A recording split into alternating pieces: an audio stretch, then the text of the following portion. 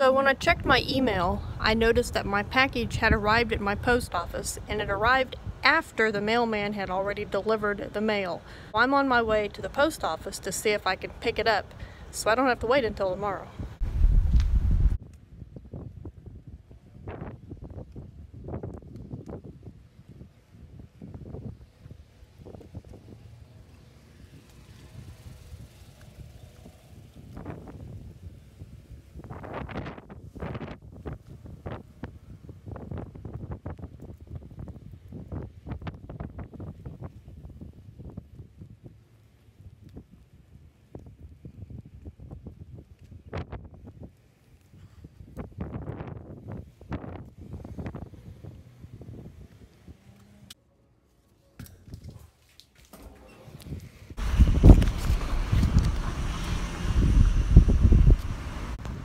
Yay! They let me get my package. They let me pick it up instead of having to wait until tomorrow morning for the mailman to deliver it. Alright, now you guys just seen that I went to the post office to get a package. So you know that I've gotten something new. But let's wait on that and let's start with my finished finished objects for the last week. But before I get there, I want to welcome everybody to Yarn Talk. Uh, my It is my Monday video that I put out every week. And if you notice, I'm not in my craft room. I'm actually in the Smelly Shack. I have not been in the Smelly Shack since I got my craft room, well, exception of last week. I did some videos at work. But for the most part, I have done all my videos in my craft room since I got my craft room set up upstairs. I'm doing it in the Smelly Shack this afternoon because I've got stuff I gotta do tonight and I was waiting on my package that I went to get so that's why I didn't do it earlier or do it last night so it was up first thing this morning. I hope you forgive me but I've got a lot of really cute projects to show you that I have finished and I don't have any current works in progress because I was waiting on my package to arrive. And one other thing, well I'll tell you about that in a minute, but the first items that I finished this week, and if you will excuse the tags on them, I've already had them out for sale in my shop, None of them have sold yet, thankfully. But our Dollar Tree opened up. We had a Dollar Tree built. They started building it back the end of February. They started clearing the lot that they were building it, going to build it on. And last Thursday was its first day open. Now, I like Dollar Tree. A lot of you like Dollar Tree. I don't buy a whole lot at the Dollar Tree, but the Dollar Tree is now my go-to for extra craft supplies. But the big rage right now that you've been seeing on Facebook and Instagram and whatnot are the little fish tanks. Ooh, about dropped him. These are some fish that I crocheted up. The googly eyes and the gravel and the little container all came from the Dollar Tree. And all I did was, the, all the ones I've been seeing, they have the little clasp, but I thought these looked more like a fish bowl. And I didn't follow any real pattern, I just went by the picture. But I used some really thin craft wire for jewelry making. Excuse the googly eye. I knew it was there, but I didn't know what fish. But anyway, you just glue your um, invisible string, or like I said, I used a really thin wire. And I found that it's best to follow the directions there and actually put something to hold it that was a googly eye that I got messed up putting too much glue on, hot glue. But put googly eyes on both sides. And these are labeled as being for display. They are not toys. They are not intended for toys. But anyway, I've got that blue one. And then I've got this one. Oops. Turn around. Calm down, little fishy. They get real excited. And then I've got a purple one that I did. Now these are not the fish patterns that, um, they're not the gold, whoa, come on, there you go. Sometimes they get stuck. These are not the fish patterns that you're seeing with the actual project. Uh, the actual fish pattern is a free pattern on Ravelry. It's the uh, learn your colors, fish, what I've showed you guys in the past. But anyway, I made those three up with some fish that I already had on hand. I think they are super adorable. I put them out on, well, I got them on Thursday. I put the first ones out like on Friday. And one of my customers that came in to purchase something had a little boy with him. And he was like, Dad, Dad, we need a fish. Dad, I want the fish. Dad, I want the fish. I want the fish. He kept begging and asking and asking and asking. But Dad's like, no, come on, we don't need a fish. And thought I was going to sell one. But anyway, I do plan on taking at least one, maybe two of these to the flea market booth on Wednesday. And I want to make up at least one more, maybe two more to put here in the shop or so that I have another one to take to the flea market because I think it'd be a really good item for the flea market. So that's the first item that I finished. And if you follow me on Instagram, you've seen the other two. I made this Tunisian crochet headband. It uses the honeycomb stitch. Uh, this is adult size and I learned a few things since this. One thing I didn't like about this is how this last row does not match the first row. I know how to fix this now. So the next the next one that I am working on, I am going to make it where this last row matches the rest of the stitch. I know how to do that now. And like I said, this is an adult size. It's a little warm for a headband today. But and I got a ponytail. Oh my. Let's let's not even do that. Let's pretend we didn't do that. I got a ponytail and it's like up high so it won't go on my head. Headband or ear warmer and it is reversible. This is the other side. Some people like this side, some people like the other side. Oops, there's my for sale tag.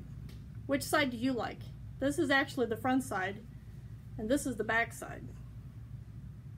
But I, I do plan on making a few more of these and part of the reason for the package has to go with this, but I will tell you when I open the package because it will make more sense. And the other project that I finished is I had this bright idea to do a beaded Tunisian pattern. And my, I don't know what my intentions were. I just made it. I thought it was going to be cool. It is actually cool. This is what I came up with. If you follow me on Instagram, I posted Sunday evening about this much of it and I was like anybody want to guess what it's going to be well, I finished it up this morning I'm actually filming this Monday afternoon. I finished it up this morning waiting for the mailman just hoping that he had my package which I was going to guess he probably didn't because of the time. He showed up about the time that the package arrived at my post office. That told me that it was probably really going to be Tuesday. So I was like well I'll just work on this. I haven't sewed my ends on because I or sewed my ends in because I just finished it. But this is that Tunisian waffles stitch where if you remember the tutorial that I did a couple about a week ago going into the back hump of your return chain is how you get this. It does not really curl a whole lot. Mine got a little tight and a little wonky because of the beads, but the beads worked out perfectly. I had a comment on my Ravelry, I think it was on Ravelry, pretty sure it's on Ravelry. To the Ravelry or one of the two groups that I posted it to, which is No Catchy Name and Random Randy's Random Family. Those are Facebook groups for No Catchy Name and Random Randy's YouTube channels. But anyway, I posted this and somebody commented that it would make a really cute over-the-shoulder bag for a kid or a young adult or an adult for that matter. I was like, well, that's brilliant. I hadn't even, I was thinking maybe I didn't know, a bunting or something, but I do like the idea of the bag. I think I will make, oh, this is the back of it. Looks really neat on the back too. Kind of looks the same front and back, except this is more, more wafflier than that.